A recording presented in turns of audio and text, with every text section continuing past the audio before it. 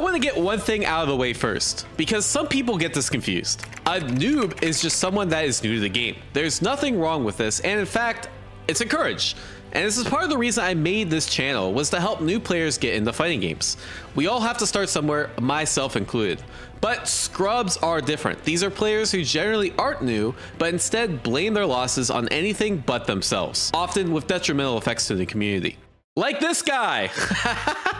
Skynet says, you pathetic, no skill, uh, looks like a game reward. Maybe if, if you're a little sleuth, you could probably figure that one out. Win by luck, not by skill, trash. Another game reward? I think these are two different game rewards. I, I have a lot of experience in game rewards, What can I say? Uh, prove me right about you. Embarrassing little gamer word boy. He's saying friend. Yeah, yeah, you're right. He's saying friend. My bad. I, I don't know why they censored friend, but these are kind of players I'm talking about. And the cool thing is with Street Fighter 6 replay review, we can actually see how lucky Mr. Citrus was. So we have to, we have to go to June 7th and try to find Mr. Citrus. It should be it should be around here somewhere. Oh, we found it. Yes, let's go. Okay, they're a master player? I mean, we don't know if they're actually a true 1500, right? Because my a lot of people, what happens is they actually play like they get the, the, the how do I say the MR resets and then they just don't play ranked, right? So we don't know if this guy's actually a true 1500 or not. Yeah, modern Guile. I don't even feel like modern Guile's that good. But yeah, I feel like like a mirror match like this has to be one of the least lucky matchups ever. Also, if they're like the thing is like if if I feel like someone was lucky, right? And Like if they beat me and I feel like they're they were lucky, I'll just play them again. like I'm like I'll beat your ass if if you were lucky, right? Like this person probably won and done and just said they're lucky.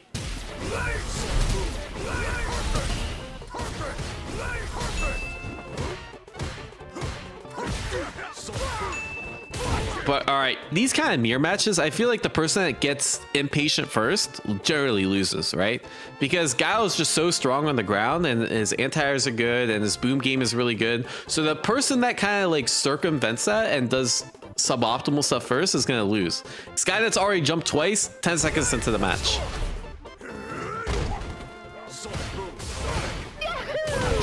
Three times into the match. How is this luck? You're just jumping and getting anti-aired. I, am I'm, I'm I'm still waiting for the luck. Still waiting for you. Di'd for no reason. Still waiting for the luck. Okay, that was that was a lucky jump. Although you didn't even like punish him. See, you got you got lucky here, but you could have like done 3k damage. instead. you got to throw. All right, all right. Here comes the mix. All right, good patience. Okay, you know what? That that was a little lucky. That DI was a little lucky. I'll, I'll, I'll, give Skynet a little bit benefit of the doubt. Oh, that was a good combo. That, that, that DI was, was a little lucky. Hold up. But that... Fourth? Bro. Fourth jump? Are you gonna jump again? Oh, you could have got DI back. No combo? I don't know, bro. There's a, there's a lot of not luck here. Decent footsies, though. All right. Ooh, okay. That's good. This is such a funny... I feel like I'd never see this mirror match. All right. Got a little predictable with the booms. I wouldn't call that luck. No ant. Oh. Okay. Where's the luck come into play? I feel like he's gonna just throw of a jump or something. I, I kind of see it a little bit. I kind of see it a little bit. You know, you did get DI twice, right? You did get DI twice. I, I will give you that. But then just just rematch, bruh. One, you could argue that's predictable boom timing, right? Like the fact that it worked twice meant you're just a little too predictable with the booms. You should have hedged against it. But also, like, there was a lot of mistakes you made. You kept jumping. You could have just held your ground with a little less committal options. You could have tried drive rush, which, by the way, I don't think you drive rush once. There, there's a lot you can do, right? That did not come down to luck. I guess I should expect that from a master player. There was like, like, yeah, getting DI twice, you can hedge against it. But like, again, you got you got to recognize this shit, especially when you're a master. Like, someone's DI happy, you got you got hedge around it. Also, like I don't know. I, I don't feel bad calling you. Like, it doesn't matter how lucky he was. Come on, bro. Stop the game rewards. All right. So, um, yeah, this this next, I, look, I did a video on uh, DSP a while ago, right? And I don't want to do another video on DSP. I learned my lesson, but I do want to talk about because DSP like is all over the scrub quotes Twitter, right? So I feel like it's only fair I should cover uh, at least a little bit. And this clip, uh, let's take a look. Now, right, they just got they got hit cross up, right? Which means they just they just weren't blocking. Couldn't parry. She wins now. It didn't parry. I'm literally holding the middle buttons. I'm literally holding the middle button. She didn't earn the win. The game dropped my parry. As soon as she flipped over, I parried it. Nope. Bullshit. You didn't outplay me. You just waited it out, and the fucking game dropped my input. That's bullshit.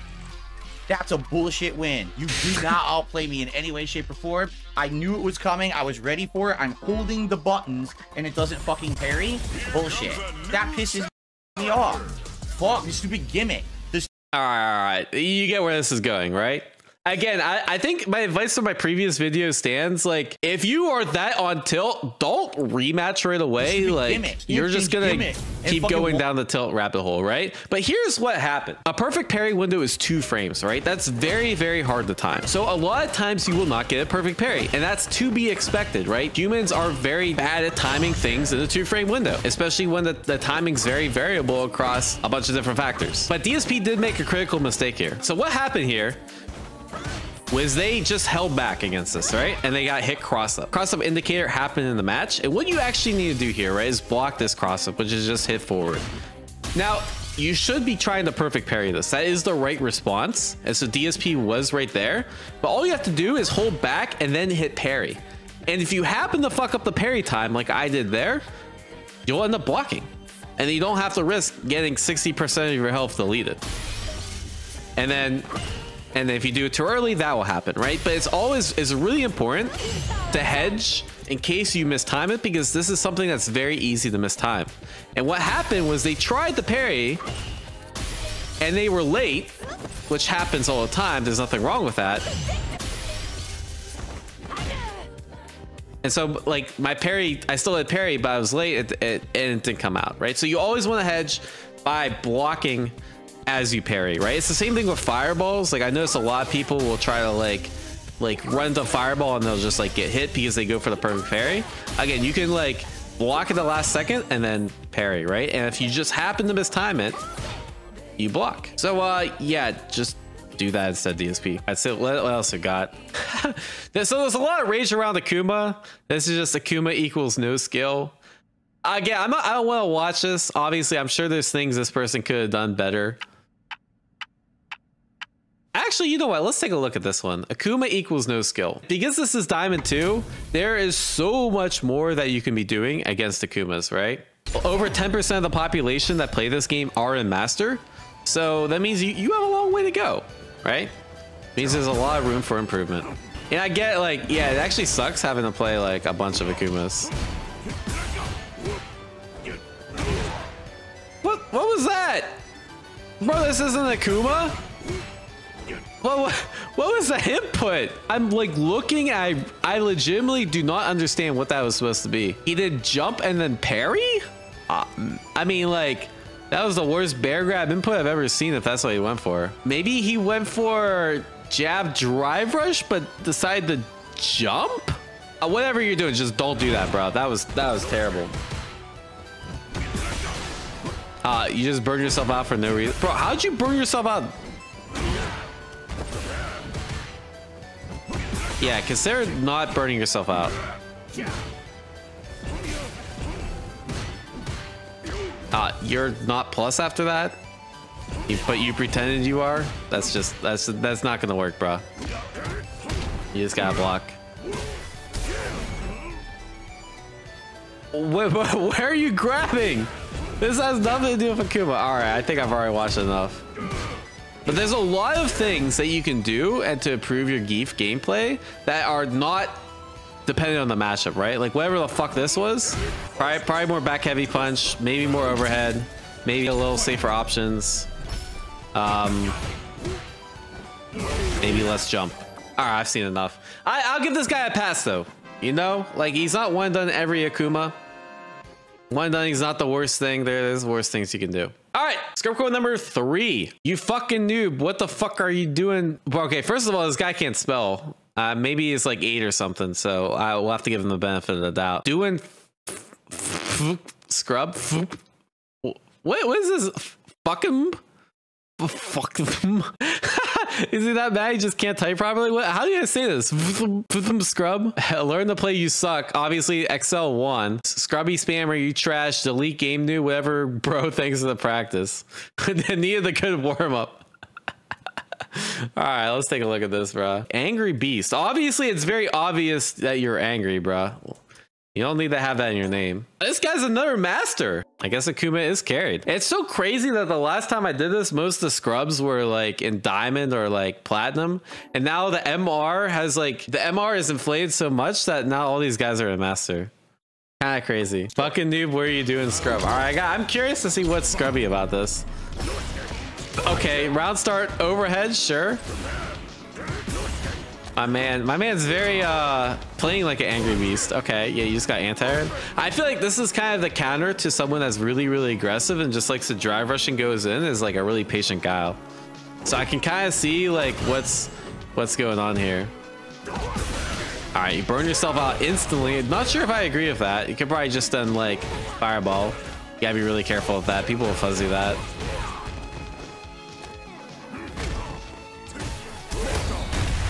All right, got hit by a DI. I feel like that's a common theme. People just don't like getting hit by DI. Uh, this is why you don't burn yourself out. People do not like lane Guile. Yeah, that's the thing. Against Guile, you have to be a lot more careful with the air fireball, right? Because the thing is, like, Akuma's air fireball can go through a lot of different character stuff, but there's certain characters like Guile that can counter it pretty hard. I, I think he's already on tilt. He doesn't know what to do. He's just teabagging? Okay. Uh, I don't agree with that. The, the, super does absolutely nothing and you have Warsoki here, right? You kind of just, you should have just went the sleep and then like did nothing else. Yeah, you gotta parry the booms, I don't what to tell you. All right, well, I mean, you threw him, but now like, now you're just fucked. What are you gonna, bro, you just kept jumping. So the thing with Guile, there's a couple different ways to approach this character, right? But that happens, that went by so fast. what fucking noob? What are you doing fucking scrub? I feel like this is the most standard Guile play I've ever seen, right? He's just doing the shit Guile players normally do. Like, I don't, I don't understand. What, uh, what this guy is doing that tilted him so bad. This guy is just literally just playing textbook, bro. So the the kind of guys, right? Like they're just holding down back and you're not sure what to do. Just walk them down, right? You with Akuma, you have really good walk speed. Your forward heavy punch, better frames than the boom, leads into more damage. So if they let you get in close, which this guy is doing, he's just literally like, all right. Like once you get here, all right, you're close, right? Like just instead of going for overhead, which is like obviously really risky, doesn't give you much reward, just start chucking out some forward heavy punches. Try to counter hit at normal when he gets into that range or counter hit the start of a boom. And then you start your game plan, right? Like what does this overhead get you? Same thing, why, why are you... Why are you thinking these overheads? Okay. Uh, you can, all right, so you're in a good position. I, I would recommend like neutral jumping some booms because if you neutral jump a boom and then he can't throw another boom because there's already a boom on the screen, right? Uh, yeah, we talked about the sweep. Again, you got you got watch the burnout, right? Yeah, no, all right. Or you're just you're just get hit by random booms. And I think they just, yeah, burn themselves out. And then you literally lost the game when you did that right here. Yeah.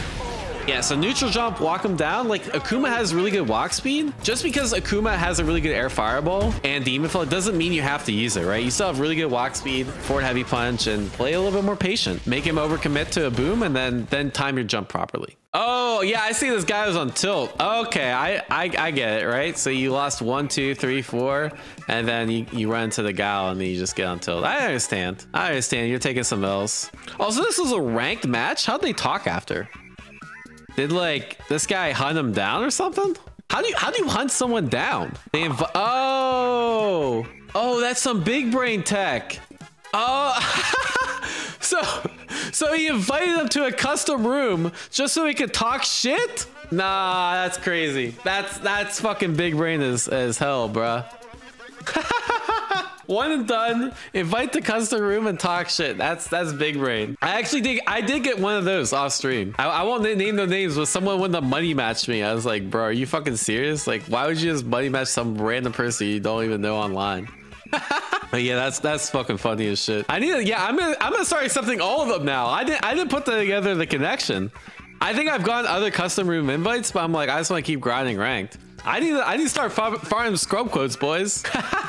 yeah, they want to money match me online. Like, bro, what? First of all, I was, on, I was on my second account. Like, how do you even know I'll pay out? Like, you don't even know who I am. Like, I could just say yes and then then dip if I lose, right? So, like, I expect the same thing from them. All right, let's see what else we got. So, I feel like I gotta cover this one. This, one's just kind of hilarious. I don't rematch waifu players. I'm a psychologist. This, this is just like absolutely insane. I don't rematch waifu players because I know 110% the person behind the screen is a virgin that trembles at the sight of a woman in real life. So go ahead, keep playing just some Tekken jerk off. okay, sure. You could try to find a way to defend all you want. I'm a psychologist. I know that people are obsessed with female characters in a video game, especially Tekken, either are virgins that are ugly, low self-esteem IRL, or have gender identity issues. Sure? I mean, maybe Juri players, right? But like everyone else, come on. A psychologist, by the way. I, I guarantee you any money this, this guy's not a psychologist. If they are psychologists, they they're definitely like the worst psychologists. They took Psych 101 and they call themselves a psychologist, bro.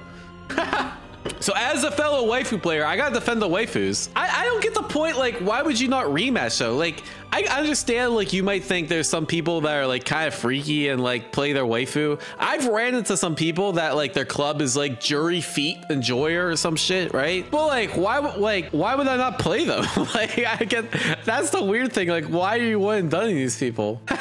Yeah, I don't know, bro. I think he's just like an excuse to that. Like that's the most twisted logic. Like I, I get the vibe that this person is blaming their losses because the the person's uh I don't know uh, ugly virgin. Okay, sure. what is that fucking logic? All right, we can take a look at one more. Oh, actually, I want to talk about this one. There's no honor in modern day fighting games. It's all about touch of death, infinite juggles, and how long you can keep your opponent from pressing a button. I, I, that feels like a lot of buzzwords to me, but okay, sure.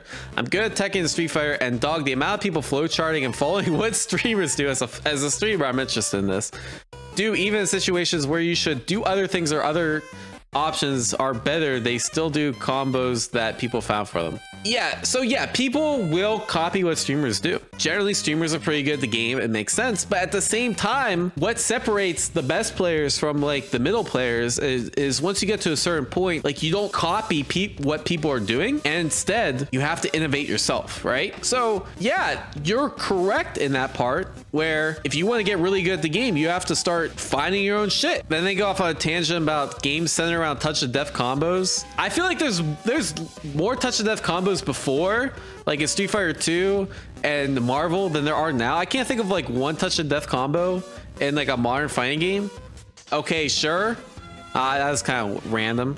It's about following the cool people nowadays instead of getting good yourself. That's why you see the same names stuck in low ranks when you. I this I can't even make sense of this, this comment, bro.